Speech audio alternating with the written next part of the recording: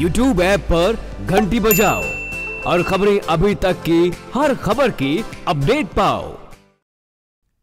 नमस्कार, आप देख रहे हैं खबरें अभी तक और मैं हूँ आपके साथ शीनम शर्मा। खबरों का रुख करेंगे प्रधानमंत्री नरेंद्र मोदी अपने तीन देशों की यात्रा पर पहले दिन स्वीडन पहुँचे, जहाँ पर एयरपोर्ट पर उनकी अगुवाई स्वीडिश प्रधानमंत्री स्टेफन लॉफवेन ने की।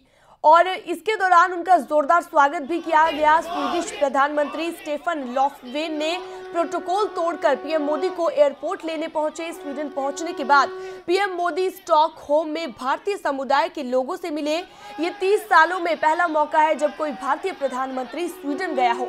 इससे पहले पूर्व प्रधानमंत्री राजीव गांधी सन 1988 में स्वीडन पहुँचे थे स्टॉकहोम में। आज दोनों देशों के पीएम कई मुद्दों पर बातचीत करेंगे। उसके बाद मोदी कॉमनवेल्थ समिट में हिस्सा लेने के लिए रात को ही लंदन पहुँचेंगे।